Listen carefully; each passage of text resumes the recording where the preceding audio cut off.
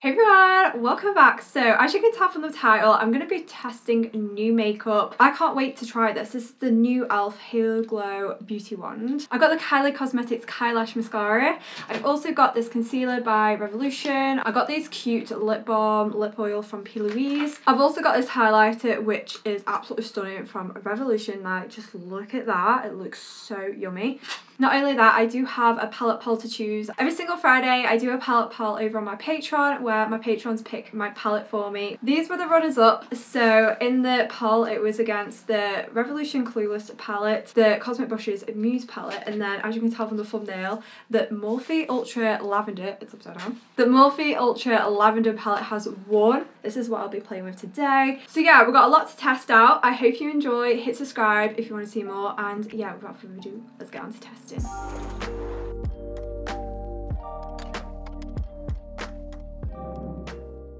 Okay, my lips are dry AF, so I'm going to try out these. These are the P. Louise Lip Oil Lip Treatment. I got these gifted from my friend. Um, she had doubles, so she thought she'd pass it on to me, so thank you so much. I've never tried the P. Louise uh, lip oils or lip anything but they're very popular especially on TikTok. Look at this packaging it's so nice and it smells unreal so yes it's a lip oil it reminds me like Jeffree Star packaging. I can't describe the scent it is sweet but it's a very unique scent I've never smelt this smell in a lip product before. My lips are so dry. I have been talking all day. It's a really soft doe foot already this lip oil feels nourishing as hell like I feel like I don't need the conditioner but for the sake of the video I am going to use some conditioner. We've added moisture surging benefits to help improve lip firmity for the pout of dreams. Prepare for protection, hydration and a glowing lips babes because you deserve it. Oh it's in a keychain, it's got a keychain as well. I don't think I'll ever use a keychain but it's a fun aspect I guess so you could attach it to your keys, your handbag, to resist you. I've noticed that P. Louise always has a play on words with her products. Okay, the other one that I tried before had much of a stronger scent. This is quite a laid back scent, it's not as powerful. Oh my god, my lips are gonna thank me for this. I forgot to mention, I also have a new eye primer to try. This is the Wet n Wild Photo Focus eyeshadow primer. I always use either my Revolution Ultimate Eye Base or my Beauty Bay Eye Base. I have found this is very fit. I have used this before, by the way, it's not total first impression, but I have noticed that this is more of a thin formula in comparison to the Ultimate Eye Base by Revolution and the Beauty Bay. Um, it just feels a bit oily when I first apply it. I don't know. What is in the ingredients? Yeah, I just feel like it's going a bit weird there. You know what I mean? I am dry on my lids, so I, I don't know whether it's because of that. But yeah, I don't know how the application is going to go with this. Okay, so this palette, Morphe 35L Ultra Lavender. This looks stunning. So we've got 35 shades in here. I'm just guessing because it says 35. Does that mean there's 35 shades in here? So we've got shimmers I can see. We've got like metallic finishes. We've got mattes. Okay, first shade I'm going to start off with is Sparked, which is this shade here. I'm just going to put this in my crease for now. So we've got something like that. That's a really nice colour. I'm going to use the shade Dot Calm just on the brow bone so it's blended into that first shade.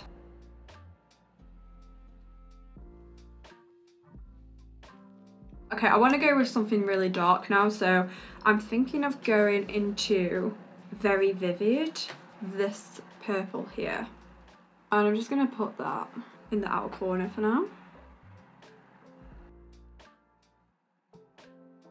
Okay, now I'm going to try deepen out even further. I'm going to use the switched off shade, this bottom corner colour. And I'm just going to, I'm just going to re-intensify the outer corner a bit more. Okay, I've just done a really undefined soft cut crease. I did use the P. Louise Rumour 02. I'm looking very closely, especially in this eye. I don't know if it's because I've got really dry eyelids at the minute, but that eyeshadow primer, the, the Wet n Wild, I feel like it's gone really textured just on the eyelids. So, but yeah, that's what I'm noticing so far. I feel like I can get most of these shades from the Beauty Bay. What's it called? Beauty Bay I feel like these are the sort of shades that I could get in the Beauty Bay Love Note palette. Thinking about it now, did I really need this palette?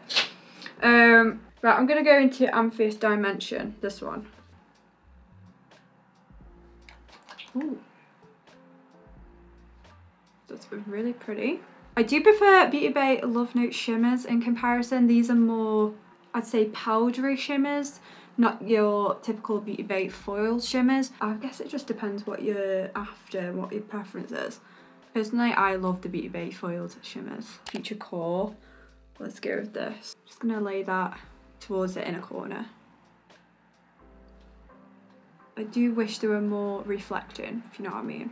I feel like I want to go with more of a pastel pink just in the inner corner. So I'm going to take it on a really defined brush. And I just want to add some pink in the corner. Oh my god.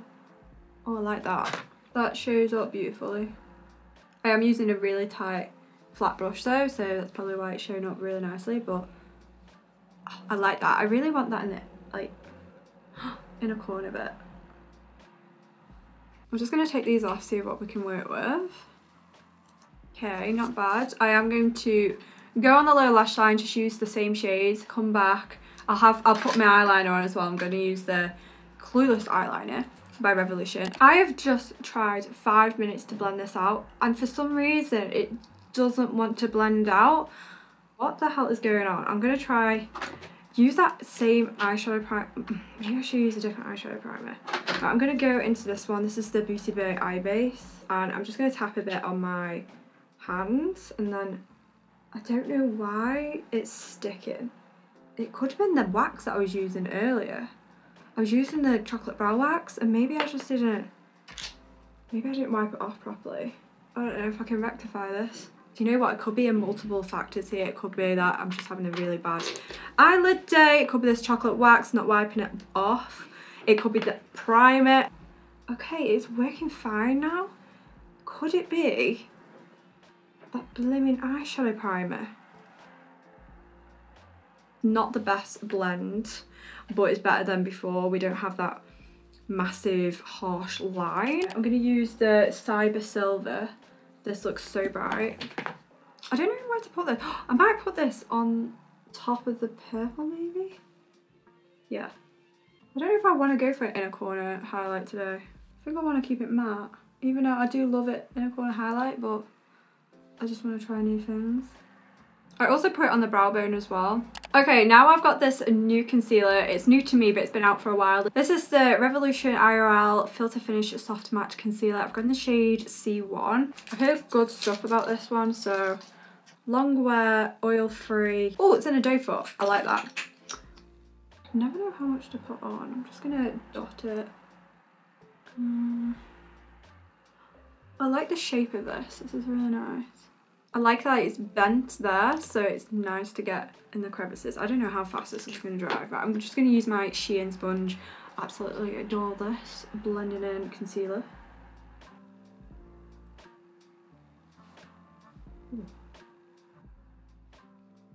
Normally I use a hydrating concealer, the e.l.f. Camo Hydrating Concealer I use. This is nice though, it's not too drying considering it's a soft matte concealer. Yeah, I think I like this.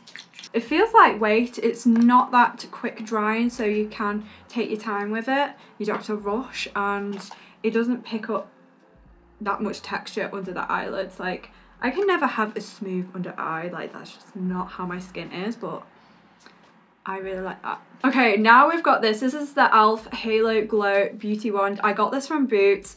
I've seen this everywhere and I feel like it is duping the Charlotte Tilbury, you know if you know, especially with it being a sponge applicator like this. So I got the shade light. There was a medium as well, but I thought that looked a bit too bronzy to be a contour. It literally looks grey. Look at that. That, I don't know. It looks great on my skin tone. So this is what it looks like, as you can tell, I have used it. I do love my Shein one. Yeah, this is slightly on the bronzer side compared to this e.l.f. one. That's the Shein one, and that's the e.l.f. So that's a comparison. So a massive tone comparison. So let's just see what this is like. So I'm just going to do two dots.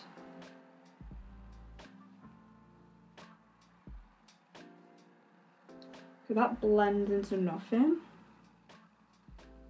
I'm going to do it on my nose as well. And then up here. I I think this does work better as a contour shade in general for me because I actually don't have any contours that are this grey tone. Okay, I'm going to go in with another layer because it is very light. It is as though it's creating a shadow. I think it does work, but I don't know if I like it on me. I definitely need some bronzer. Um, it blends. I'll give it that. But I don't know if it suits me. This is what it looks like. I say yes, it blends. I think it's the right shade of contour. If you've got fair skin and you struggle a lot to find an actual contour shade, I think you should try this. But most of the times the contours that I've tried, they've came out either too orange or just too bronzy, but they still name themselves contours. I feel like this is a contour. This tone, try it if you've got fair skin like me, it blends. I just don't know if I don't know if I like it on me. I just need to I just need to put the bronzer on. It's, it's because I'm so used to putting this on and the Made by Mitchell and they're a lot more bronzy. I've just sprayed myself with the Watermelon Glowing Fixing Spray by I Heart Revolution. You can get this on Primark. I did that because I want to go in this highlighter now. This is the Revolution Highlighter Reloaded in the shade Lilac Glaze. I think this will go with today's look. Um, oh my god, it's so nice. The grooves in the pan are so fun. It has no glitter on it it just looks like a straight off highlighter. Um, let's just give it a go. Ooh. That's so pretty. I like this. It's not coming off strongly lilacly pink, I don't think. I like how that performs. I don't know if I like this bronzer underneath me. I did go in with the I Heart Revolution Chocolate Contour Bar. So my friend got me this actually. This is the Colourpop Fresh Kissed Lip Cream in the shade Date Night. I've never tried the Colourpop lip creams before, so this is going to be a total new formula to me. It does look quite strong on camera, but it's, it's like a peachy shade. I don't know if this is going to go with this. Let me put a lip liner on first. This is the Doll Beauty Run the World lip liner. I'm feeling very chaotic today and I, just don't know why. I feel like with first impressions, I feel dead chaotic. Okay, I'm just going to do that for now, this lipstick. This doesn't go with this lip look, no. A really nice formula. Uh, I definitely need to go with something more cool tone for this. Not with this eye look at all, but it looks like a really nice lip formula. I'm to wipe this off. Okay, I am to use the same lip liner. I thought this lipstick would have gone in today's look, but I will have to use that in a different video. It did feel really nice though and creamy. I have this Donkey lipstick by Shrek, I Heart Revolution. I could go with this. This is okay. I don't know how I'm feeling about today's look, guys. Like, I don't know what's with me. Okay, I'm just gonna go with this before I go crazy. Okay, we have got one more left to try, and that is the Kylash mascara. I have tested this out for my patrons. I just sent them a photo and I must say I do really like it. It is quite of a dry formula which I do like in a mascara. So this is the Kylash. I love the packaging. I did hear that some people said this looks like the Maybelline Sky High. Hmm, I can see the similarities with the embossed writing but I wouldn't say it's, you know, copying. It's got no curve to it, it's just a standard straight wand. It's not too big either. And I like that it really grabs onto the lashes, I've noticed with this. Usually with mascara, I only notice a difference with certain mascaras. And when I first tried this out, I did notice with my lashes that it made a difference. My lashes are normally just straight. But these actually do make a difference in my lashes. I'd say it is quite clumpy, this mascara. So if that's not your thing, I'd probably skip this one. I quite like it. My lashes are not amazing, I'll say that, but this I can really get on with.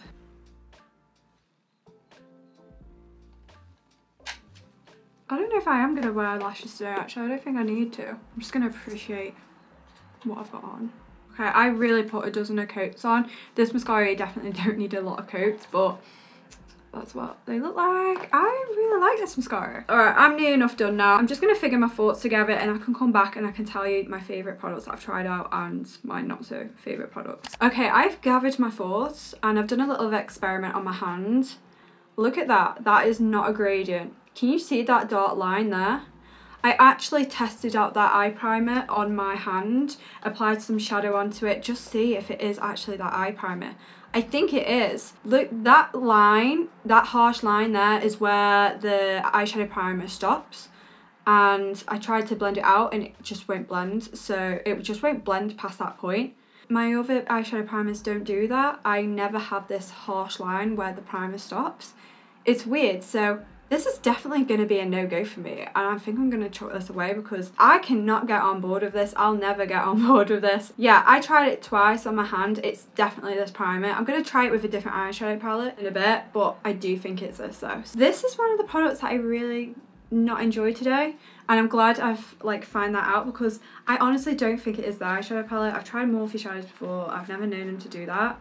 I haven't brought a new eyeshadow primer in a long time and this makes me think it is that. Now the bad stuff is out the way, I'm going to talk about the good stuff. So there is a quite a lot of things in here that I really enjoyed. I'm going to start off with the P. Louise lip conditioning products. I enjoyed these. I thought they were a nice lip prep before I went onto my lips, even though I changed my lips. I changed my lips, by the way, again. I did put the Revolution Bratz Chloe lipstick on top of that Shrek one. Okay, other stuff that I really enjoyed. I really like this Kylash mascara. I know I usually put lashes on, but I honestly don't think I needed any lashes today, and that is down to this mascara. I like how gripping it is. I like that it's not too wet.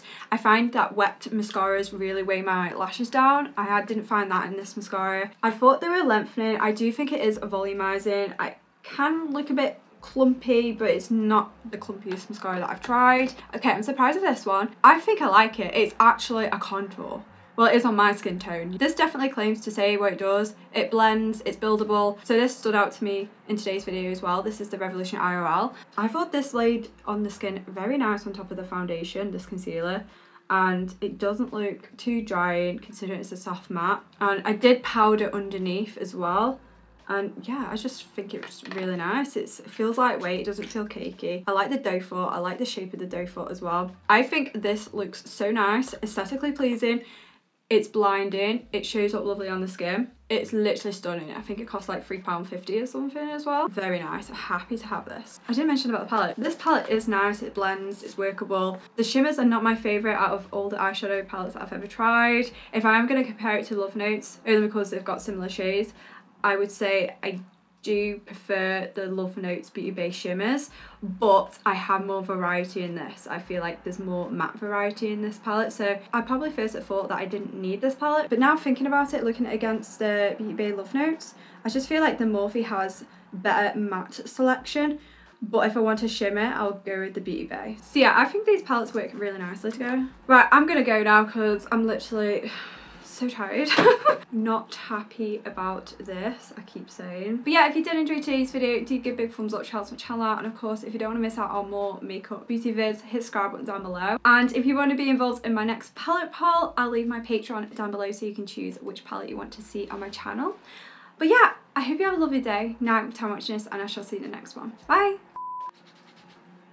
This eye primer is like the hardest eye primer I've ever tried to remove. Like it's, it it's non-budge. Got that right, but it won't bloody come off.